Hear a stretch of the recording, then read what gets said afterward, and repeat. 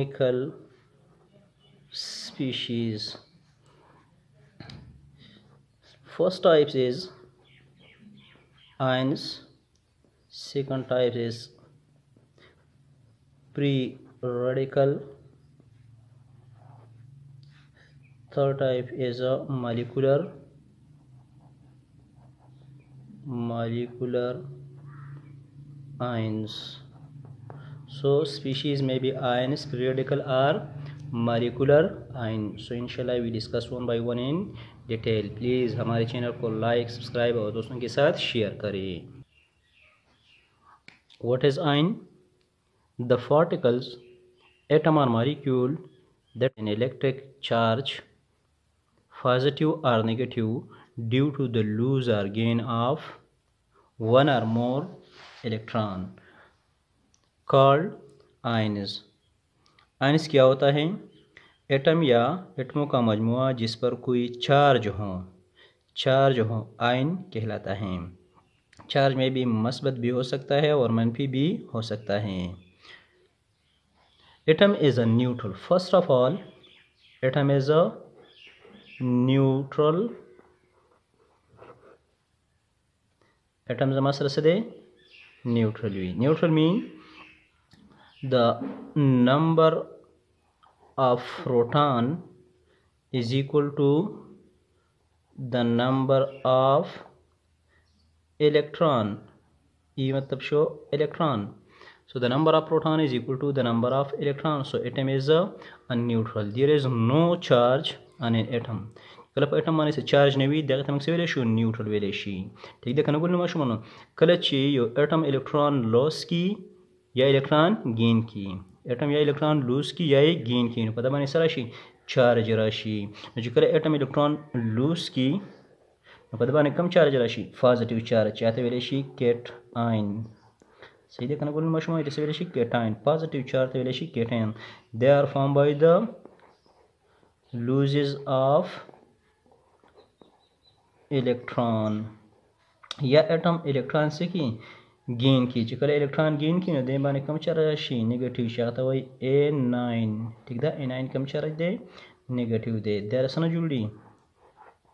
ګین اف الکترون زما سره څه جوړ شي ان 9 جوړ شي ټیک د ګلونو مشمانو نو زما سره آی څه ته ویلی شي هغه اټمز یا مالیکول چې په هغه باندې نت الکتریک چارج پازیټیو یا نیګیټیو راشي دغه د الکترونو د ګین یا د لوز نه دې ته موږ څه ویلی شو آینز نو اټم زما سره نیوټرل پارټیکل دی ټیک ده ولی نیوټرل دی ځکه چې په دې باندې الکترونو باندې منفي چارج دی په پروټونو باندې مثبت چارج دی دا مثبت چارج دی دا منفي چارج دی لهدا د دوه تعداد برابر یو نیوټرل زما سره سره نیوټرل دی یعنی تعدیلی دی اټم څه دی تعدیلی ذره ده ټیک ده کنه ذره ده اوس که چېرته د اټم الکترون لوز کړو یا الکترون ګین کړو نو په د باندې به څه چارج راشي چارج مطلب دی یا مثبت راشي یا په منفي چارج راشي ټیک ده نو که چېرته مثبت چارج راغی د به الکترون څه کوي لوز کړي به یي ټیک ده او که منفي راغی د به الکترون څه کړي ګین کړي به یي نو وی ډیسکس ون بای ون د ټایپس آف کیټان وی ډیسکس ون بای ون ایز آین می بی کیټاین آر اناین ټایپس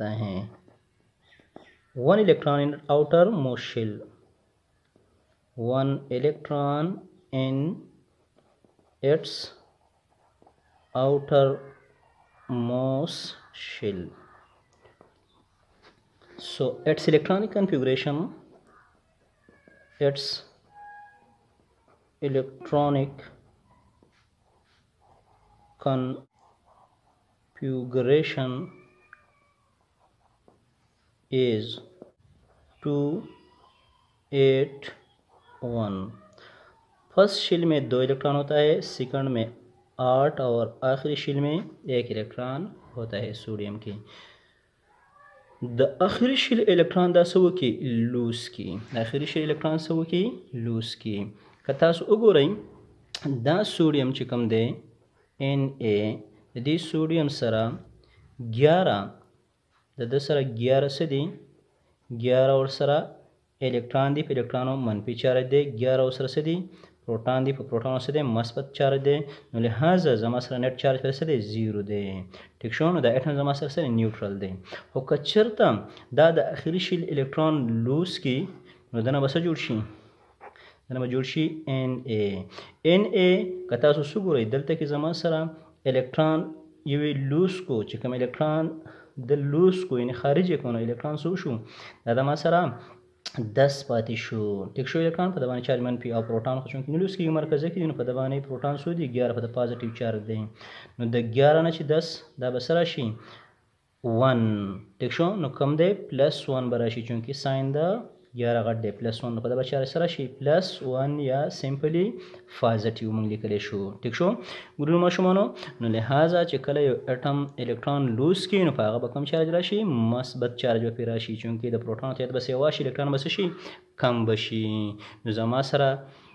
په دې کیس کې تاسو وکتل چې کله سوډیم الکترون لوس کو نو اټم زما سال لري لاول سو نیوټرل د الکترون د پروټون تعداد برابر و چې کله هغه الکترون لوس کړو نو زما سره الکترون کم شو پروټون سیوا شو نو چارج په سره غي مثبت راغی نو دې قسمه اټم ته سویل شي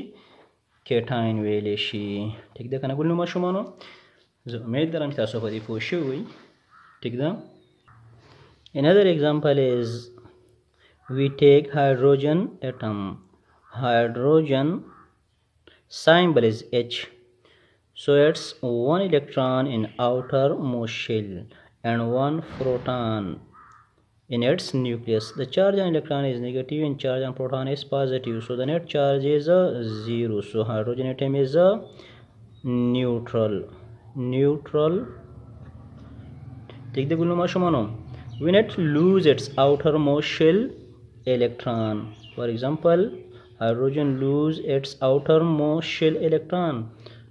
so when it lose outermost shell electron so there is no electron in outermost shell so one proton is there so its charge will be positive and electron will lose it its form a cation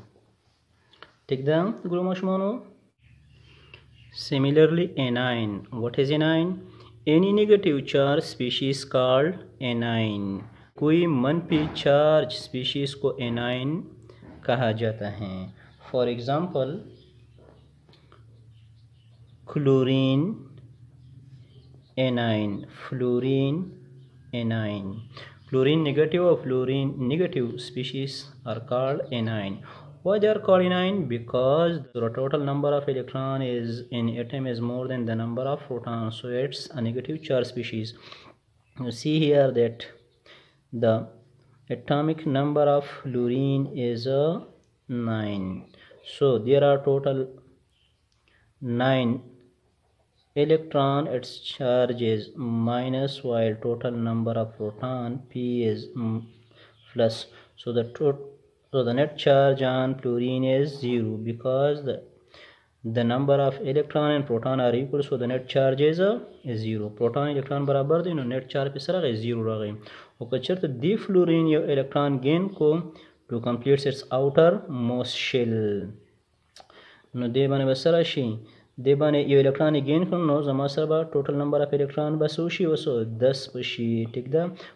پروټان په کومه مرکزه کې څو دي نو پروټان دي چې دا کله دې موږ ماینس کو نو څه به راشي ون به راشي ساین د چا غټ دی د ماینس غټ دی نو دا به څه راشي ماینس ون به راشي ټیک د ګلو ماشومانو نو یو الکترون یې ګین کو چې خپل اخري شیل پسې کې کمپلیټ کی نو لهدا زما سره په کلورین باندې کم چارج راغی منفي چارج راغی دغه شان که تاسو وګورئ د بل مثال کې کلورین کې د کلورین اټامیک نمبر څه دی 17 دی د د الکترونیک کنفیګوریشن دی 2 8 ست د په اخیری شیل کې څو الکترون دي و دي یو الکترون بل په کار دی چې په اخیری شیل سکی مکمل کینو لہذا دا به د بل اټم نه سوالي دا کلورین یو الکترون به سکی دا به ګین کی چې الکترون ګین کینو به براشي کلورین نیگیټیو آینز پوری به نیگیټیو راشي ځکه چې په دې کلورین کې کم چې زما سره نیوټرل دی ولی نیوټرل دی ځکه چې په دې کې 17 الکترون دی او 17 پکې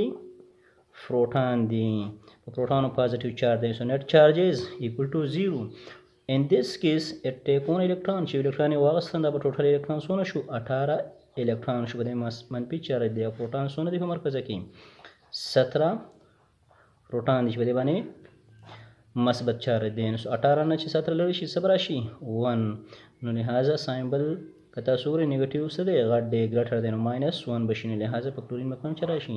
نیګټیو نو دا د ما سره نیګټیو اناین دی نو په اناین کې د نمبر اف الکترون زیات دي د نمبر اف پروټون نه سو نیټ چارج به سره شي نیټ چارج به زما سره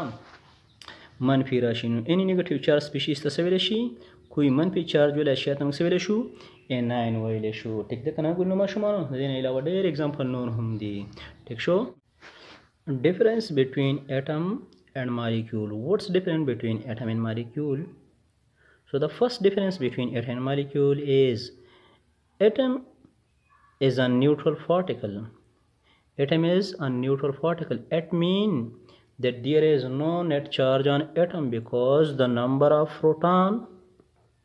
number of proton equal to number of electron so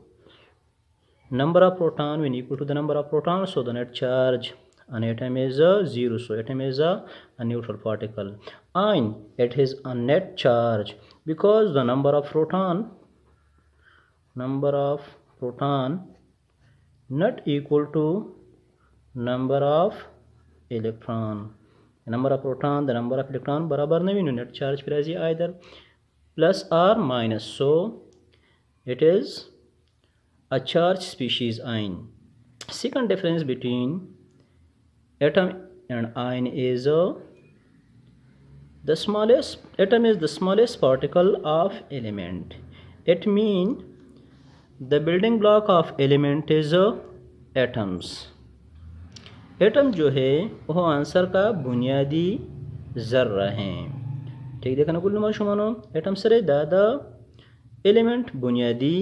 ذره ده یعنی ایلیمنټ د سنه جوړ شوی دی ایلیمنټس د اټمونو نه یو ځای شوی دی اټمونه ډیر اټمونه او دغه نه جوړ شوی دی اټم جوړ شوی دی It is the smallest unit of ionic compound. Ionic compound لپاره building blocks دي د آینز دي لکه سوډیم کلوراید چې کله کرسټلیټس جوړیږي دغه لپاره بلډینګ بلاک څه دی آینز دي سوډیم آین دی او د سره سره کلورین آین دی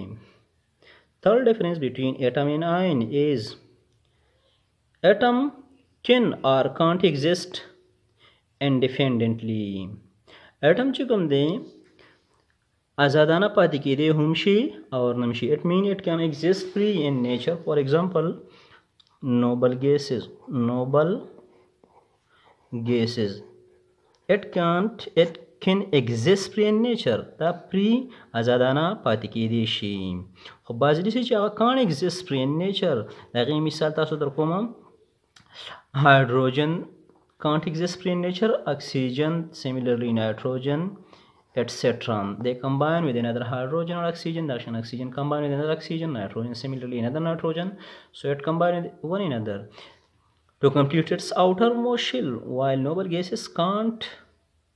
combined with another element so its outermost shell is filled so it can exist free in nature similarly iron it can't exist independently so oh, ions are highly unstable so it combines with another ions and form a stable compounds are crystal latex so ion can exist free in nature while atom can exist free in nature